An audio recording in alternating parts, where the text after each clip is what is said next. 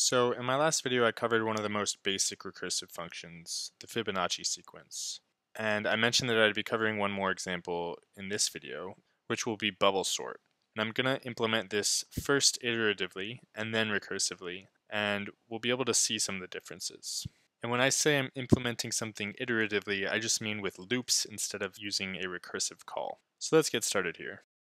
So I'm going to define a function called bubble sort. It'll take a list of numbers and I'm going to loop through this list, but I'm going to loop through the length of the list rather than iterate over its values themselves because I want to also have their indexes.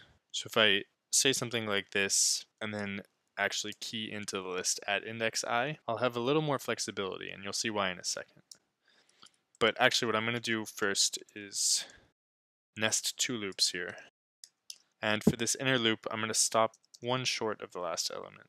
And what I'm going to do here is set a variable for the current element at the jth index. And the next element will be the j plus one-th index. And I'm just going to say if current greater than next, list j equals next, list j plus 1 equals current. And then finally I'll return the list.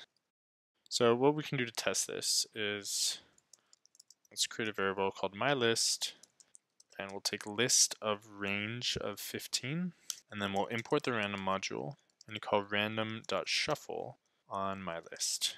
So what this is doing is it's taking the numbers from 0 to 14, it's turning them into a list from a range object, and then it's calling this random.shuffle function which will just put them in a random order.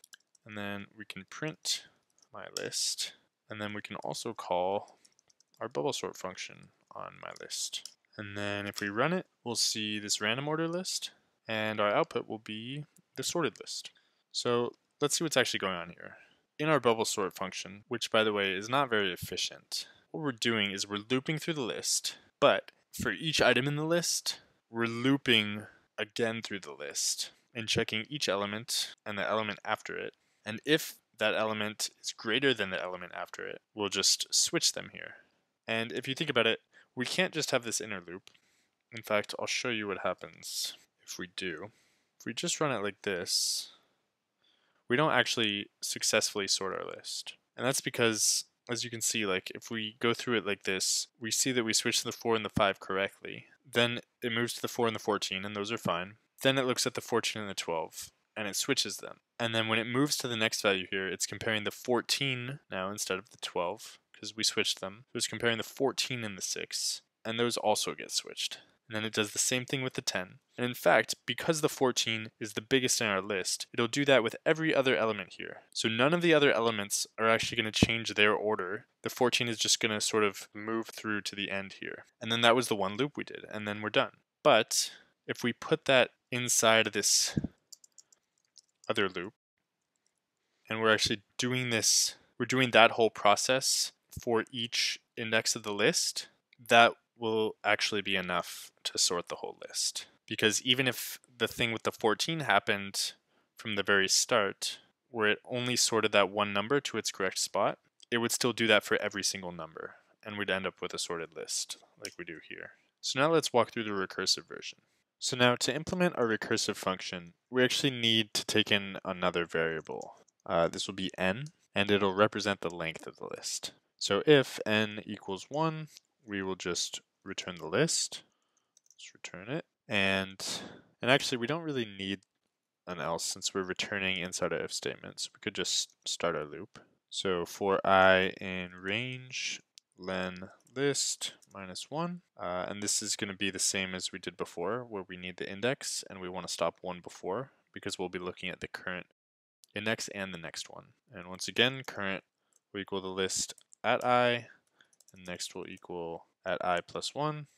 And if current is greater than next, once again, we will switch them. Whoops. List i plus 1 equals current. Okay, so that was our inner loop, if you'll recall from the iterative example. And we're going to sort of implement this outer loop in a recursive fashion. And the way we're going to do that is outside the loop, we're going to call rec bubble sort on list n minus 1. So this way we're basically counting down, we're basically just implementing a loop with this recursive call by counting down the length of the list, decrementing n by 1 each time, so that we'll do this recursive call n times n being the length of the list. And so if we just like, let's copy this code and put it down here and call rec bubble sort and put in len of list here. Sorry, len of my list. And actually before we run this, I made a mistake here. And also I'm going to return this. So we actually are returning our value.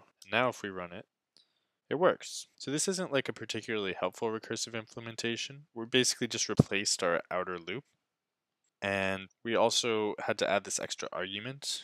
And I'll actually show you a nice little trick for getting rid of that extra argument. Because it starts out as the length of the list, it's information that we can actually just get by passing in the list. So if I instead call this like rec helper, and then I just call rec helper here on list len of list, then when I actually call my bubble sort, I, I can just call it on my list. I forgot that I need to rename this. So it is actually recursive, and then I also need to return. There we go. Okay. And then one last thing that I'm going to point out to really show that in this case, the recursive version is not better than the iterative version, and in fact is probably worse, is I'm going to import this module called datetime from itself. I always thought that naming scheme was kind of weird, but that's how they do it. So I'll take the time before I run the function. Actually, I should put this right before I run it, and then print out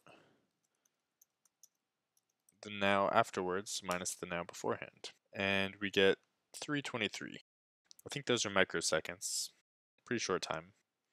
Let's see if it was any faster up here. Let's just copy this code.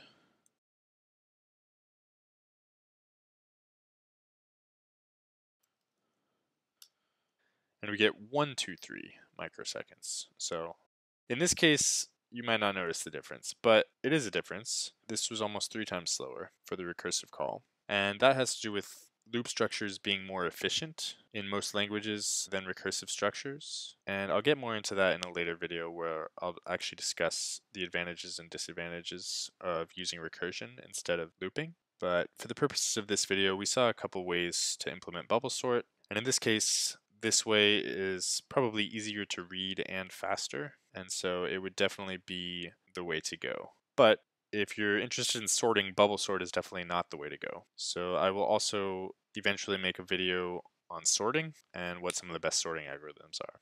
Anyway, if you liked this video and want to see more content like it, please like and subscribe. Thanks for watching.